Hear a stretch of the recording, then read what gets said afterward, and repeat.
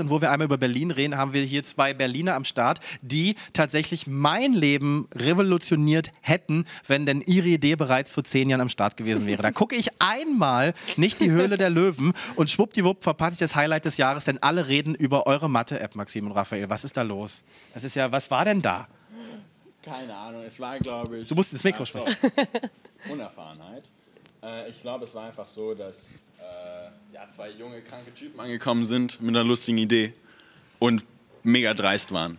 Das war halt geil. Schon Also mal die besten Voraussetzungen. Dreistigkeit deswegen, das muss man vielleicht mal vorne weglegen, vielleicht haben manche Leute das nicht gesehen. Ihr kamt rein und ihr wolltet ein Investment von 2 Millionen Euro für eure Math 42 App. Genau. Ja, da haben die Leute schon ein bisschen komisch geschaut, als sie das gesehen haben. Das, Andererseits das gibt haben sie es noch nie erlebt. Gibt es aber dann auch wiederum Ausschnitte, wo der eine Typ zu dem anderen sagt, ja, das Ding, das verkaufe ich für äh, 100 Millionen. So, Show Business Rules. Ja, es ist so, was, was, also der Markt ist riesig, wir sind alleine. Das verkauft sich halt gut, sowas zu sagen und uns zu sagen, ja, da sind neue Mark Zuckerbergs und so ein Blödsinn. Den muss man nicht be- unbedingt ernst nehmen. Andererseits, also wie gesagt, ihr werdet ja gehandelt als neue Mark Zuckerbergs. Wie fühlt sich denn das an? Also ich meine, äh, eure App ist unfassbar steil gegangen. Es gibt es momentan noch nicht für Android, sondern nur für, Genau. Äh, nicht, für ne. Apple-Produkte sozusagen. Aber ist trotzdem so unfassbar steil gegangen. Wie fühlt sich denn so ein plötzlicher und krasser Erfolg an? Es ist halt schon lustig, wenn man sieht, dass so eine langweilige, in Anführungszeichen, Mathe-App vor Angry Birds und Call of Duty im Apple Store ist, ne, auf Platz 1. Das ist schon geil. Voll. Äh, aber ähm, ja, es ist halt noch ein bisschen so surreal. Ich, wir peilen das, glaube ich, auch noch nicht ganz. Und, und Also vor, vor, vor einer Woche hat uns noch niemand gekannt. Ja, vielleicht unsere, unsere Freunde. Und dann kommt halt diese Show. Aber, aber, ganz, ganz, Und- ganz, stopp. Ja. Jetzt müsst ihr mir das ganz kurz erklären. Ihr redet ja wie Pros. Ne? Also wie gesagt, ich habe hab ja gestern nicht zugeschaut. Ich habe nämlich gestern Big Brother geguckt. Ja? Das war übrigens ganz toll. So, ähm, und ihr habt eine App entwickelt, die im Prinzip jegliche mathematische Formel im Rahmen des Schulunterrichts löst und erklärt. genau. So, gut. Und die habt ihr vorgestellt bei der Höhle der Löwen. Und ähm, dort sind halt jeweils vier, vier fünf? Fünf Investoren. Fünf Investoren, die eventuell Startups mit unterstützen, sich einkaufen und dem Ganzen dann quasi auf dem Markt, auf dem Wirtschaftsmarkt helfen, erfolgreich zu werden. Ihr wart dort, habt euer Produkt vorgestellt und das hat für Aufsehen erregt, weil ihr einfach so frech wart und zwei Millionen gefordert habt. Und am Ende tatsächlich nicht genommen wurde. Ne? Ja. Ja, wir wurden fast genommen. Also es war schon eine kleine, kleine also wir waren vielleicht ein bisschen frech, aber ich glaube, Ja, es ist auch, also in der Sendung kommen ja nur 15 Minuten vor. Wir waren drei Stunden unten. also es war eine richtig harte Verhandlung. Drei es war, Stunden. Man ja, sieht als, auch wir, als wir da rausgingen, da hatten wir schon fast Augenringe gehabt. Ja, aber es Mürbe ist, gemacht. Genau, es, ist, es spiegelt auch nicht wirklich so die Realität wider. Ne? Also wenn man so normalerweise von Investment redet, dann dauert es nicht drei Stunden, sondern du redest echt vier Monate, bis du wirklich dann das Geld auf dem Konto hast, wenn es gut läuft. Normalerweise dauert es länger. aber man muss die Show schon loben, wie sie, also wie sie so solche Themen wirklich äh, den Massen äh, nicht, aber, aber, nee, aber, nee, aber so anschaulich erklärt. Ja? Das ist natürlich sehr, sehr schwer zu verstehen. Das ist eine versteckte Welt, die niemand sonst ähm, also, also zu Gesicht bekommt. Ja. Und jetzt mit dieser Show. Eben. Und das finde ich nämlich auch so faszinierend, weil ich wüsste nicht, wie sowas vonstatten geht, weil ich kein Business habe und weil ich äh, auch weit weg bin davon, zum Beispiel so eine App zu entwickeln.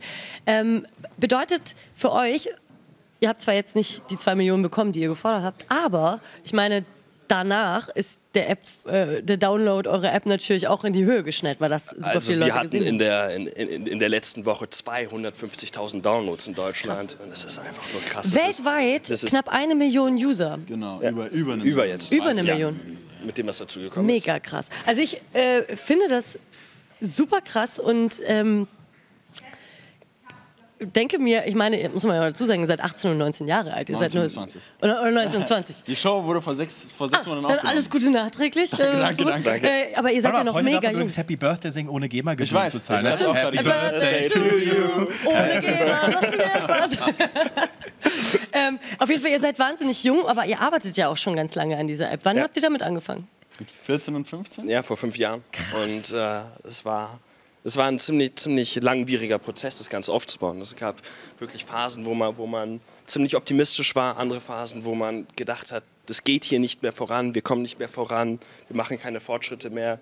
Und, und zu sehen, dass wir jetzt so einen Erfolg haben, das ist schon wahnsinnig herzerwärmend. Ja. Ja. Also es, vor allem, das muss man mal dazu sagen, ne? es ging jetzt nicht so zack und, und ihr wart dann plötzlich auf dem Plan, sondern ihr arbeitet ja schon richtig lang dran. Ich habe es gerade schon im Chat gesehen, bevor irgendjemand angefangen hat zu spammen, da stand, steht die 42 für, den, äh, für die Antwort auf alles. Also wer äh, Per Anhalter durch die Galaxis kennt, Klar. steht dafür. Wir wollen natürlich auch, also zumindest im Bereich Mathematik die Antwort auf alle Fragen sein. Ja, und das ist nämlich mega krass. Also Maurice und ich, wir sind die Obermathe-Loser, schlechthin. Nein, nein, nein, nein, nein. Ich möchte ganz kurz betonen, ich war im zweiten Halbjahr der 11. Schulklasse hatte ich 10 von 15 Notenpunkten. Das war wirklich nicht schlecht. Und ich möchte, ich möchte sagen, ich hätte danach bestimmt auch weiter 10 Punkte gehabt, wenn ich nicht der Annahme war, es würden drei Halbjahre im Abitur reichen. Leider sagte man mir kurz vor Beendigung des Abiturs, dass ich fünf Halbjahre einreichen muss. Dann waren die vier und die drei Punkte halt auch noch mit drin. So, äh, äh, Raphael, magst du mal nachlegen mit deinen Punkten damals? Oder Nein, will ich nicht wissen. So. Ich war nie der Beste, ich war nie der Beste. Achso, ist das aber so die, die Nummer Ich hab- mit äh, unterfordert gewesen? Nein, nein, nein, nein, nein. Ich hatte in Mathe immer ein wahnsinniges Problem. Ich habe mich verrechnet. Ich konnte, ich konnte die Sachen, aber ich habe mich verrechnet. Ja, das ist so. Aber wie, wo- woher kommt's?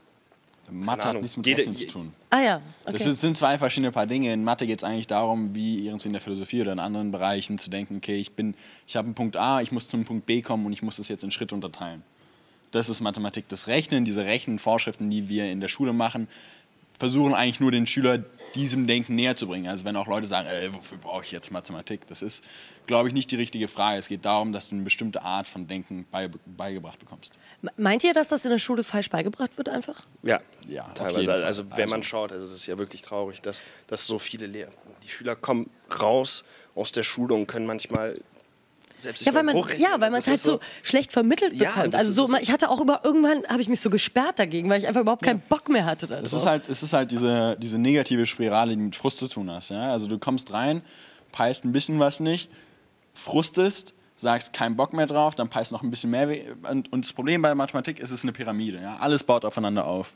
Wenn du einen Baustein nicht, nicht verstehst, dann bist du, sorry, am Arsch. Ne? Ja. Aber die Schule kann auch wenig, äh, wenig führen. Die- Die müssen halt 30 Schülern in einer Klasse, muss ein Lehrer Sachen erklären. Ja. Und das ist halt nicht möglich. Und da wollen wir wirklich nachhelfen. Genau, das ist nämlich auch eine Nachhilfe-App, sozusagen, Mhm. die erklärt Schritt für Schritt, wie das äh, vonstatten geht. Wie gesagt, ich, mich kotzt an, dass es sowas früher nicht gegeben hat, als Sorry. ich auf der Schule war.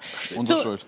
Ähm, Schreibt, äh, hat die App Lösung auf äh, Gleichungssystem mit 19 Unbekannten und 50 Gleichungen. Das Ja. wäre hilfreich, Ja. zumindest für mich. Das können wir leider nicht machen, noch nicht. Doch, Aber 19, natürlich können wir- 19, neun- äh, 19 90 Gleichungen, wenn- das- wenn- das wenn- Gleichungssysteme, die wenn- Google lösen Ich hoffe ja ja. ganz ehrlich für die beiden, mit Großrechnern. dass die, ich hoffe ja wirklich für beide, dass sie nicht die neuen Mark Zuckerberg sind, weil dann trennen die sich in mehreren Jahren und streiten sich dann irgendwann vor So wie Gericht die um die Firma. So, Nee, wir gehen so. jetzt mal äh, rüber. Mass denn- 42 Nord, Mass 42 Süd.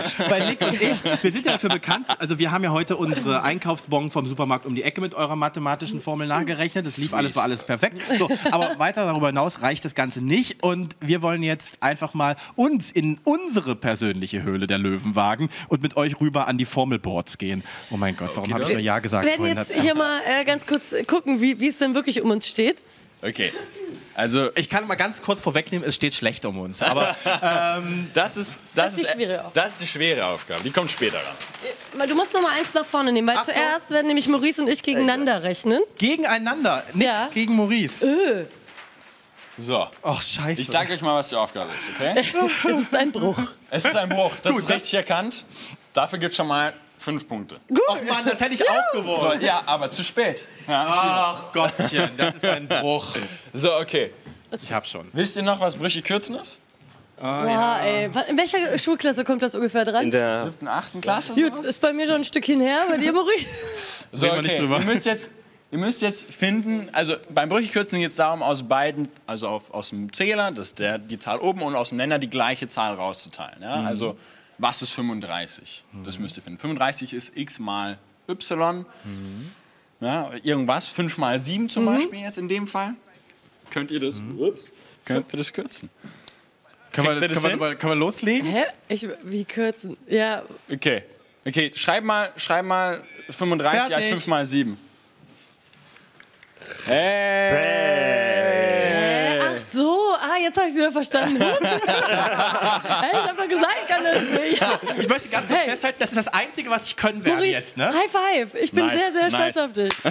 Gut, also ja, ich habe es jetzt dann auch verstanden. Es war sehr anschaulich, ich habe es aber, äh, ne? Sorry. So. Also, wir Du sollen kannst mal es gerne nochmal äh, Ja. erklären, wenn du magst. Also, ich hätte jetzt die 7, wie oft passt die 7 in die also halt, 35? genau, du hast halt hier oben 7 und unten ist 35 halt 5 mal 7. ja. Da können wir auch hinschreiben.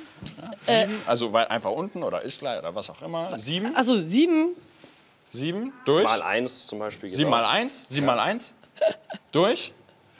5 mal 7. Und Und jetzt, jetzt kannst du die 7 rausteilen. Ja, rausstreichen. Aus, ach so, ah, das ist ja Ein mega, ach, das war ja früher total easy. Jetzt Ach stimmt. so, ach so war das. Ihr wollt Du gar hast nicht es total kompliziert gemacht. für mich ist das immer wie Tetris. Ich fange dann immer an, so Bausteine nebeneinander zu legen im Kopf und gucke, wie. Okay, egal, gut. So. Ja, gut. So, jetzt haben wir aber noch was vorbereitet. Und zwar, äh, Maxim, hast du eine Aufgabe noch aufgeschrieben und wir Genau. werden, Maurice und ich, äh, zusammen gegen Raphael sozusagen eine Aufgabe Battle, lösen. kleiner, kleiner Mathe-Battle. Dafür Ja, muss ich habt einen kleinen Bonus. ja, wir haben die, Bonus. die Mathe-App sozusagen. Ah, wir dürfen also Wir schwulen. Die Mathe-App benutzen. Okay, machen wir Arbeitsteilung. Ich schreibe, du nutzt die App. Genau. Ich flehe ich flehe euch an. Ja. Ich ertrage ich, ich ertrag mein Besserwissertum nicht mehr. Ja? Ihr müsst denen jetzt mal einfach mal eine draufgeben. ja, einfach mal zeigen, wo, wo, der, wo der Hammer Oder Nicht, dass es heute der Tag ist, an dem die App dann irgendwann nie wieder funktionieren wird, weil ihr euch trennt. ist. nee, nee, das ist. Aber wir brauchen schon so ein bisschen Vorsprung, glaube ich, oder? Nee, ich glaube Ihr habt nicht. die App und er muss normal vorrechnen. Nie gesehen. Okay, Also dann. ich, ich habe hier die App, dass ihr das mal sehen könnt. Ja, da steht, äh, gibt die Aufgabe ein, da muss man dann einfach das eingeben, was da steht und in der Hoffnung, äh, dass sie auch so funktioniert. Ich habe es jetzt noch nicht probiert, weil ja ich gesp- wusste ja auch die. bin ja gespannt, wie du, ob du weißt, wie man das hoch 2 eingibt. Wenn du Hilfe brauchst, bin ich da. Okay, gut. Wir müssen jetzt anfangen. Also wir müssen jetzt anfangen. So, ich- du ich bin der ohne App Nachverlehrer. Ich und ohne wir App. mit App. So, das ist eine Gleichung mit mehreren Unbekannten. Das ist, kann ich schon mal sagen. Es Eine Unbekannte. Eine. eine unbekannte X. Ja, die steht mehrmals da. Genau. Und einfach, einfach eingeben. Ach so, einfach eingeben. Okay, ähm, X. X und jetzt das hoch. Das ist da über, über der Wurzel. Das da? Genau. André, jetzt zeig Ah, doch auch nicht, zwei dass er jetzt, so? Zeig doch mal hier rüber. Ja. Plus 8 8x. äh, X. Äh, was? Plus 12. Plus Ist 12 ist 0. So, einfach mal. So. Und jetzt? Einfach lösen drücken, oder? Jetzt wird das an eure Umpa Lumpas Ah, im Serverraum nee, geschickt. das ist, passiert alles auf dem... hier, Ah! Jetzt hinschreiben, hinschreiben, hinschreiben. Was ist denn Einfach hinschreiben, einfach Lösung hinschreiben. äh, Lösung überprüfen. Hey, Quadrat, Warte doch ein bisschen mal. Ich brauche ein bisschen. Ah, yes! Also wir, wir haben ja jetzt halt hier keinen Lösungsweg natürlich, der wird jetzt hier natürlich auch. Lösungsweg, Lösungsweg ist für die Schule. Ja. Hier, hier Sieht geht's ums nicht so. Aber jetzt mal ohne Scheiß, krass, das ist wirklich, vor allem, also dass nicht nur ein Ergebnis gezeigt wird, sondern eben auch der Lösungsweg, den du dann ja nachvollziehen kannst, ist schon geil. Weil es Ja. ist nämlich nicht wie bei einem Taschenrechner, wo du zum, wie lange brauchst du eigentlich noch, Mann, Raphael! Wirklich. Es kann doch nicht sein, dass, dass das, was ich gemacht habe, mich schlägt. Ja, wie die Ironie des Schicksals, würde ich das die mal besser werden.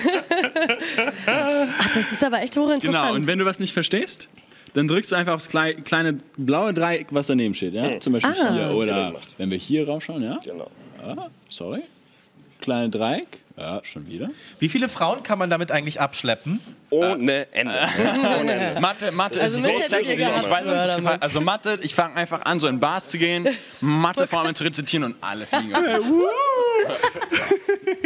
Thomas haut mich sogar auch schon um. Also Genau. wirklich, ich finde das faszinierend und ich finde es großartig. achso, wir müssen jetzt hier gerade mal gucken, was du raus hast. Ist, ist richtig? Hast du dich verrechnet? Ja. Ja, Deine Schrift ist geil, aber Ich weiß. Es ist ist richtig, aber hat halt Meine lange eigene gebraucht, Kunst. ne? stimmt. Ja, aber ich bin sehr neidisch, dass er das auch ohne konnte. Ich hätte ja jetzt überhaupt keine Ahnung gehabt, wo ich da überhaupt aber du hast lange gebraucht. Was ist falsch mit dir? Aber, Ich habe so einen kleinen Denkfehler am Hangover. Anfang genau.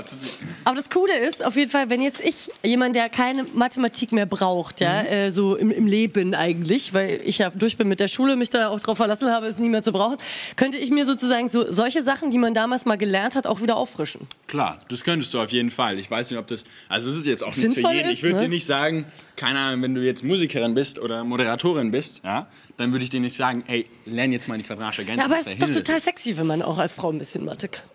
Das können viele Frauen. Das ist ja nicht der Fall. Ich, ich merke schon, es knistert in der Luft, ja. Die Funken sprühen äh, zwischen Maxim, Raphael und Nick. Ähm, Dankeschön, dass ihr hier wart. Sehr, ich wünsche euch unglaublich viel Erfolg. Ja. Die App gibt es inzwischen auf Russisch, auf Französisch, auf Spanisch unter anderem. Chinesisch. Äh, Chinesisch ist auch dabei. Das heißt also wirklich international wird im Moment mit eurem Produkt gerechnet. Ähm, das ist echt faszinierend. Das Ganze heißt Math äh, 42 42. oder Math 42. Genau. Ähm, könnt ihr euch demnächst hoffentlich dann auch auf einem Android-Gerät runterladen. Wie dann kann ich mich auch Wir arbeiten dran. Wir arbeiten Okay. Also in den nächsten so. paar Monaten soll das der Fall sein. Also viel Erfolg euch beiden.